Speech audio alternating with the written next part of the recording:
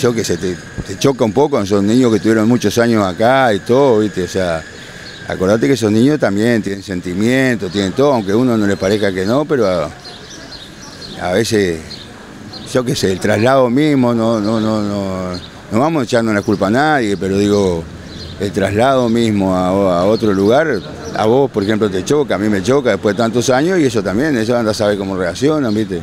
Cuando se fueron de acá, no tenían patología, o sea, o sea, su patología de base, la parálisis cerebral y, ah, y todo lo que tienen ellos por ser niños más inmunodeprimidos y alguna cosa de esas, y medicamentados. Pero si no te puedo imaginar que si, si, si, estaban enfermos en el momento del traslado, yo no iba a permitir el traslado.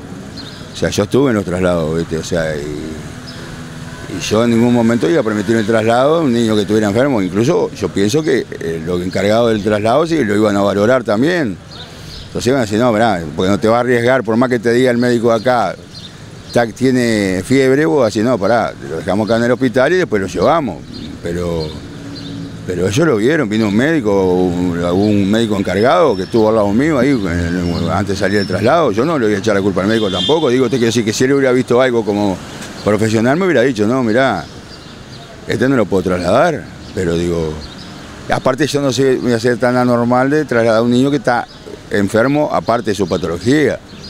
Me parece, ¿viste? O con sintomatología rara, ¿viste? O sea, yo lo único requerimiento que pretendía, que llevaban respirador y todo, pues son niños que se descompensan en, en cualquier momento. Entonces, bueno, tenés que estar atento a la jugada. Acá está todo el personal capacitado como para tener un, como te, tiene un programado qué hacer, o sea, un protocolo desde el momento que me llaman a mí hasta el momento que voy, que llego, que era de son 8 o 9 kilómetros, pero acá son, va en 10 minutos.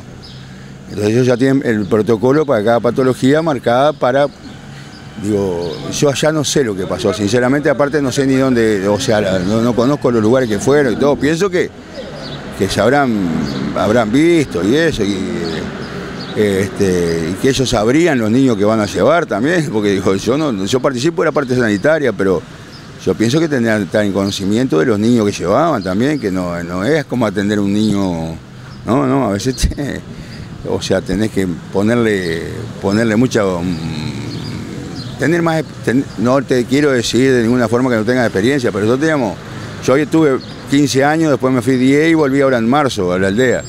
Imaginá que son años de experiencia ahí adentro, ya más o menos sabes cómo manejarlo y me encontré casi con los mismos niños que estaban cuando me fui. Mirá, yo especialista en traslado no soy, ahí hay una especialidad en traslado, o sea, no te puedo decir. Sé que los funcionarios de acá son excelentes funcionarios, tanto en la parte de salud como en la parte de auxiliares, son excelentes, saben cómo manejarlo, lo manejan, mirá, como hijos, o sea, porque eso lo vi yo, lo vivo yo cuando voy allá, que, este, y los voy a defender siempre porque son tanto el personal sanitario, o sea, enfermeras, nurses, que hay muchas, y también el personal auxiliar de enfermería, que son los encargados de bañarlo, y, este, una, una, calidez humana tienen fenomenal. Lo que hayan dicho no sé porque no, no, no, no, no estuve con ellos, ¿viste? pero los niños sienten también, pues hay niños que están acostumbrados que a uno lo bañe, o el mismo lo bañe siempre, otro que lo, lo, el otro que lo, le dé comer. Son niños a veces que tienen trastornos de glutorio, o sea, para tragar, entonces hay que, darle con mucha paciencia, hay que tener un, temperamento muy especial. O sea, yo te invito que un día, bueno, ahora no porque hay pocos, pero yo he llevado gente que me ha pedido y ha salido porque son parálisis cerebral severa, ¿no? Todavía queda un grupo más por trasladar, ¿no? Sí, creo que sí, porque yo me voy enterando. A mí no, me, yo no participé en los traslados, ni me dijeron nada, ni me preguntaron nada de Montevideo, ni nada. O sea, así que, digo, es, es bravo hablar como yo he sentido, ¿no? Por ejemplo, he sentido autoridades que han hablado y han dicho cosas que te lastiman, ¿viste? Pero bueno, eso lo verá, después se verá después, pero digo, te lastima, te lastima porque uno todo el empeño que te ponen en atenderlo y que salga en la televisión y te, te, te escrachen, ¿viste? Pero bueno, está, es la forma de ser, yo, yo de esto no me gusta hacer nada, está, yo cumplo mi función y creo que la cumplió bastante bien en los, años. Y ahora, mirá, en marzo me reintegré de vuelta este, a, la, a, la, aldea, ¿viste? Y bueno, este, fue lo que me encontré con esto ahora, ¿viste? Pero digo, bueno, más allá de todo, digo, espero que pare acá la cosa, que se tranquilice y que no sigan haciendo más. O sea, ensuciando más gente, ¿viste? Yo qué sé, o sea, digo. Nosotros somos acá en el interior, somos seres humanos también. Y, si tuvieron 30 años los niños acá, te imaginas que porque la gente lo trató bien. Yo no, no critico, mirá que a esto que le pasó a Montevideo podía haber pasado acá también.